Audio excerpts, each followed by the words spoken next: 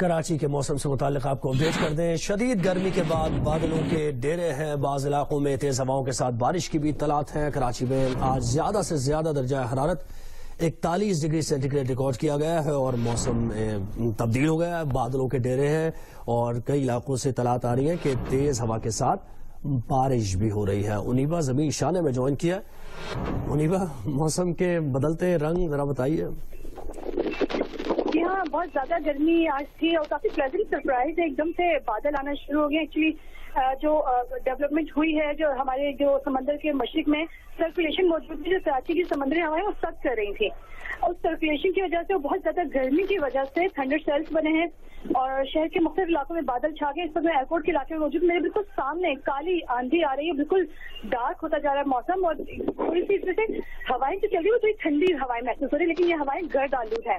महकूम मौसमियात के कहने के जो मुजफ्फाती इलाके स्पेशली टाउन मलियद और ये गदाब के इलाके जो बोट के इलाके वहाँ पर बूंदाबांदी भी हो सकती है। उससे काफ़ी तेज हवा चल रही है। आंधी से छा गई है एयरपोर्ट के इलाके में और अंधेरा सा हो रहा है। यहाँ पर गर्द आलू तेज हवाएँ अगर आप सुन सके तो दरवाजे की भी आवाज़ें आ रही हैं आसपास और दरवाजे बंद भी हो रहे हैं। अगर आप लोग सुन सके बहुत तेज बहुत तेज चल रही है हवाएँ।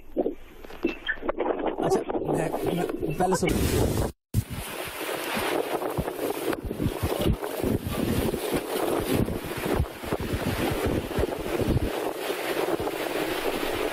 ये मनाजिर आप कराची के देख रहे हैं और अगर इससे कोई दो घंटे या तीन घंटे पहले के मनाजिर आपको दिखाते हैं तो ऐसा लगता कि जैसे शदीद गर्मी है, धूप है और गर्म हवाएँ चल रही थी। बहुत ही मुख्तलिफ़ सूरत हाल थी, लेकिन इस वक्त गर्दालू हवाएँ चल रही हैं, काली घटाएँ छा रही हैं कराची में।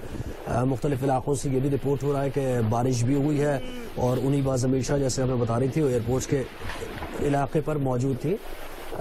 और वहाँ से बता रही थी कि काली घटाएँ बाकायदा तौर पर आसमान पर हैं। बादल छा गए हैं तेज हवाएँ चल रही हैं। उनीबा अगर आप हमारे साथ हैं इस वक्त तो बताइए महकमा मौसमियात का क्या कहना है? क्या बारिश होगी अब कराची में? बिल्कुल नहीं बिल्कुल ऐसा मौसम इस तरह के मौसम की प्रोडिक्शन ही नहीं की कितनी तेज हवाएँ चल